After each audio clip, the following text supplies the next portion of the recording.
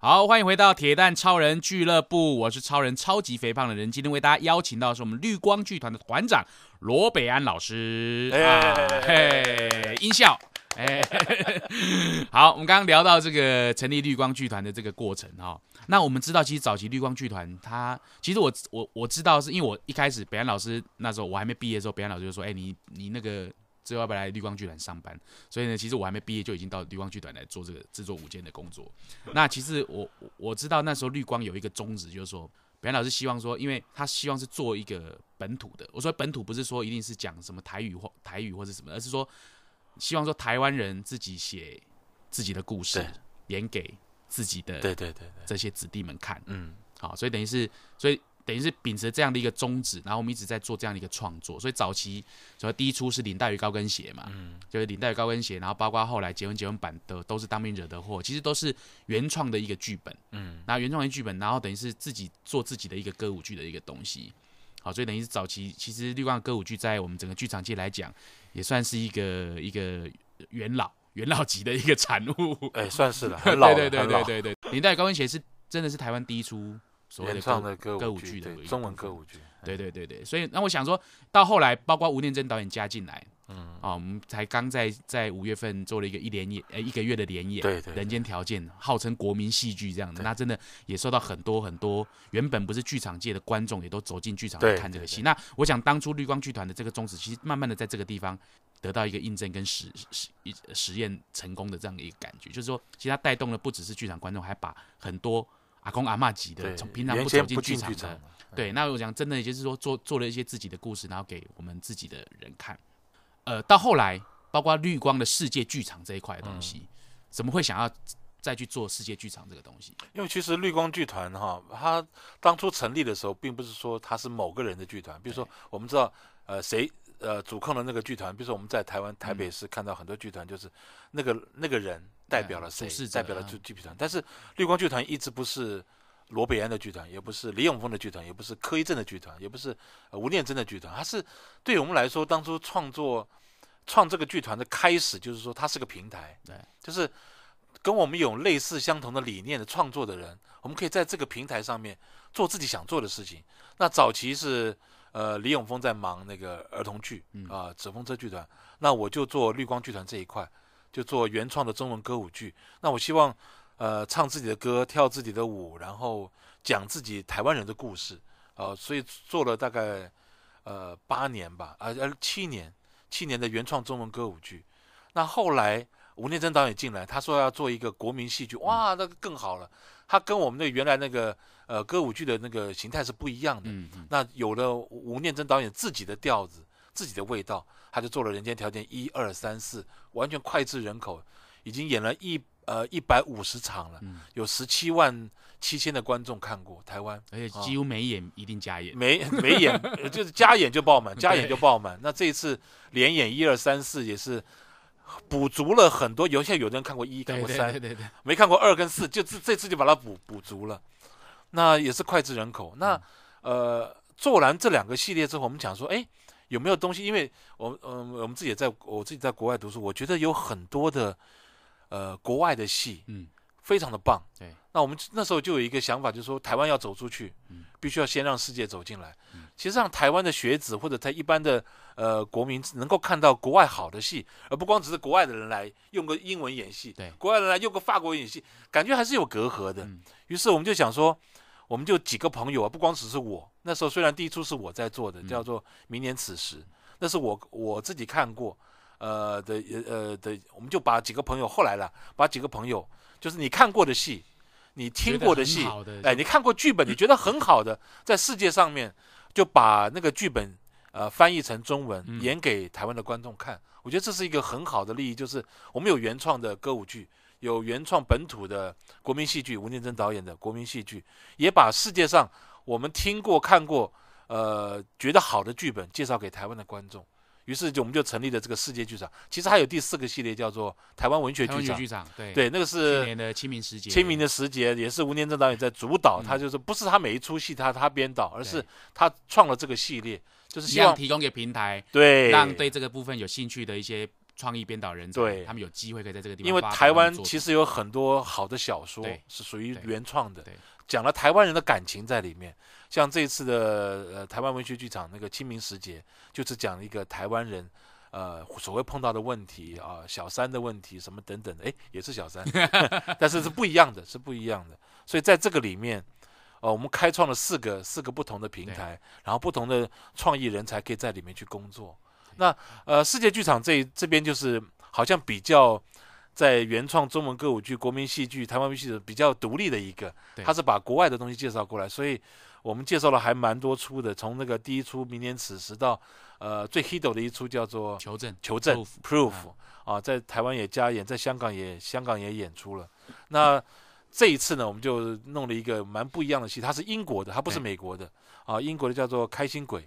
就是其实这个这个这个这是翻翻译过来的，呃翻译过来的剧场叫《开心鬼》。嗯。那这个戏其实蛮老了，嗯，因为它非常的好看，非常的好玩，而且有内涵，所以它每隔五年、十年都会被拿出来演。那这一次最近的一次呢，是在美国百老汇也演出了，好像也就是前几年吧。二，零零九年的时二候零零九年，对前两年，对对对对对，就是这个剧作家的他的好戏还不少，尤其是这一出《开心鬼》，嗯每隔十年五年就会拿出来演一次，拿出来演一次，因为脍炙人口。对，听说他第一次在伦敦上演的时候，一口气就演了将近两千场，一千九百九十七场演，了好多年呢、他创下了这个英文非音乐戏剧史上最长演出的一个记录。所以这表示说他真的非常受欢迎，而且这剧本真的非常非常的好。对，如果你对国外的戏剧有一点点了解的话，嗯你会知道那个伦敦的 West End 或者纽约的 Broadway，、他们最卖的都是歌舞剧对 musical 对啊对音乐剧。那其他的 drama 啦 comedy 都没有没有办法。演到，那么长，，对，演个十年十几年都不可能。所以这真的是一个奇迹，这真的是个奇奇迹啊！对对对对对，嗯而且是在一个战乱时代哦。OK，所以呢，这一次呢，我们绿光剧团也即将在十月二十八号到十月三十号，在我们的这个国立教育艺术馆，就是在呃南海路这个艺南海路术馆，对植哦植物园里面的要推出这个哎英文英英文戏剧史上一个非常奇迹的一个剧嘛，对。哎，我们翻译成开心鬼，对，对对。那这个剧作家，这个剧作家的这个叫做 Noel Coward，嗯，他的他有没有其他的作品是大家所熟悉的？我想台湾的观众都比较不熟悉所以这个这个剧本有拍成电影吗？有哎，我记得有哎有吗？我不知道我也搞不清楚哎。OK，没关系哎，哎，等一下，好像有，因为我我们那天在聊天的时候，对不起啊，我这个因为这出戏我我没有当演员，也哎也不是导演，所以我比较疏离。但是这剧本我看过两次，嗯非常有意思。至于这个戏啊，我们前几天在聊的时候，好像有讲说，哎，为什么我们绿光剧团演的戏都会被人家拿出来？啊呃，好拍成电影，啊不是说我我我我们演了他们才拍电影，不是这意思，而是比如说呃，兔子洞出口，出口还有 Proof 求证，还有那个我们其实去年演的那个叫《文明野蛮人啊》，都拍成电影了。这出戏好像也拍成电影过。所以其实真的是好的剧本，其实大家都会想要去。对对对，台湾的观众其实不太知道这个剧作家以及这个这个戏，但是在国外这出戏已经已经已经很红了，对没关系，没关。系，就是因为这样子说，我们把这个戏带进来，让台湾的观众可以有机会可以接触这个剧作家跟这个剧本。那北安老师要不要跟我们介绍一下这个开心鬼的剧情，大概在讲些什么东西？他其实是有一个很荒谬的一个开头，哎就是这个男主角是朱鸿章演的，啊，他是一个作家，他想要写一写一本招灵，就是那个那个国外很很有灵媒呃灵媒的东西，就是你看嘛，大家点蜡烛，啊然后大家手牵手，然后再把一个灵魂招回来，有点像现在台湾的这叫什么？呃当机啊，或哎者什么当机或者对对对对，或或者那个什么仙观观哎观世音观啊落阴什么啊观落音什么观世音？对不起，观落音那种，就是跟阴间的一种一种交流、就交呃沟通。他要写一个这样的题材，于是他就想说，呃，这个东西我有一部分了解，但是我想要体验一来下，体验一下，他就找了一个灵媒过来，然后呢，然后就是弄一个招灵这样子，啊。然后他于是可以观察嘛，因为作家或者创作人最重要的一点就是观察和收集资料，于是他就找了啊，现场呢还有他太太，还有他的医生的朋友和医生朋友的太太两对夫妇。啊，两对对。夫妇跟这个灵媒，于是他们就想说，其实他们有多少都有一点看笑话的，他们啊。其实有点不太相信，对，然后想说看你看你怎么搞嘛，嗯，啊，我们知道到了，我知道到时候我再把它写下来。但是没想到那个灵媒一进来呢，就是那个杨丽英演的，丽哦，杨丽。英演的。他的呃作家的是朱鸿章，朱鸿章。的作家的太太是呃姚坤君。姚坤君哦，我们我们世界剧场永远的女王女主角。女主角，然后那个医生呢是邓安宁讲的，那邓安宁演的，呀，一个太好笑的一个人。然后医生的太太叫做叫做那个，梁不是不是医生，医生的啊啊杜诗慧啊，杜诗慧，杜诗慧，我太太同学，我居然忘了 你完蛋了，我完蛋，我完蛋了。就是这四个人啊，加上一个杨丽英，他们就来那个招灵，就是灵媒就把那个招叫招魂还是什么的，然后结果没有没有招到任何东西，是真的没有招到吗？嗯其实大家走了之后，那个人出现了，那个人出现了。其实他招的那个人呢，并不是他们想象的，嗯而是这个作家朱鸿章他的前死掉的前妻。于是你就看到他好玩的地方，就是嗯，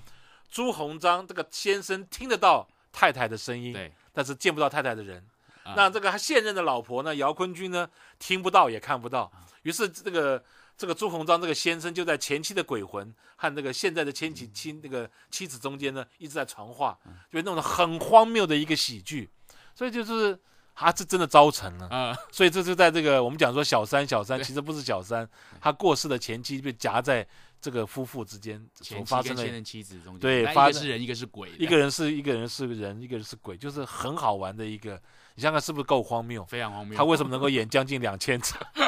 就是过程当中实在发发生了很荒谬的，但是有内涵的喜剧，好玩的东西。嗯嗯嗯嗯。不过这次发现，其实他的阵容也非常坚强，就刚刚介绍到，都很多硬底子演员，，对对对，朱鸿章啦、姚坤军啦，这是杨丽英啊杨丽英、邓安宁，邓安宁、杜思慧，哎。对对对，还有个梁飞仪，梁飞梁飞仪，杨飞啊，他是一个哎，他是马来西亚华侨，嗯。到香港演艺学院读书，后来又到了呃北京，后来很长一段时间在台湾，嗯，他就演了这个前妻这个鬼，啊被招回来的鬼，很好玩，就中间有很多阴谋，有很多推理，有而且后来的剧情发展还会让大家意想不到。对那个。对，这个剧本我有看过，太好笑了，但是这边先卖个关子，对，怎么会发展的成那种一个对。一个喜剧，到最后发展变成好像有点推理。其实我觉得，我觉得之所以做世界剧场很好的一个点，就是其实外国的剧本，他们有些那种想象力的东西真的非常丰富，对。那结构又非常的强，所以其实对我们来讲，比如说我们自己学戏剧的人，我们第一次在在在学这个剧本的东西，其实都要先从一些经典的剧本开始学。那因为它里面有很就是可以去学到它很很强的那个整个结构性的东西，因为有时候我们会自己自己喜爱怎么写就怎么写，对可是其实你还是要先从一些比较传统的，然后比较怎么讲，就是整个结构很缜密的一个过程当中，你去学习到那个东西。那其实我觉得是这个国外很多剧本，其实他们都除了创意很很好之外，其实本身那个基本的那个底子都非常非常的厚对啊，就像你学书法一定要临摹嘛，对，对。就像你学有呃颜呃颜呃颜真卿啊，我还记得这名字，呃 柳公权，柳公权，还有王羲之，对对对，知道吧？你你就是要临摹，就是看对。所谓的大家的经典是怎么对怎么写的，怎么做的。于是过程当中，其实我觉得做世界剧场有个好处，就是我们自己好像就回到学生时代，哎，在做一些那个功课，就觉得很很很爽，很舒服。那很多学弟学妹或者是台湾比较年轻的一些戏剧的呃从业人员，就会哎看了这个剧本，可能原来不知道的，嗯，看了这个戏，看了这个剧本之后，你会你的宽宽度就会比较。呃，世界剧场嘛，你你会看到让世界走进来之后，你再重新出发，你就会带着那一点东西，然后呃，会比较成熟的东西走走走下一步这样。OK，所以所以这次那个，因为它是有有点牵扯到这种灵异的这种剧情，嗯，在做这个戏的时候，会不会有一些什么禁忌？诶，好像还没有哎、我觉得做剧场的人好像都还蛮 T K 的在这方面就当然，呃，在浪漫上面，其实有人问我说：“北安，你相不相信鬼？”我说：“浪漫 romantically，我相信有鬼，嗯，因为创意无限，像对，像那个什么那个那个外星人啊，哎，外星人啦、聊斋啦、啊那些东西，倪匡写的那些东西，我觉得好美啊！romantically，我我非常相信鬼，但是现实中我真的不知道哎、对啊，你你你让我看一次，不不不，还是不要好了，还是不要了。但是我我呃相不相信？嗯，我相信那个好玩的东西，创意在里面，我就觉得很好，非常非常好玩。OK，好，那我们休息一下，我们待会再回来聊聊这个开心鬼这个戏。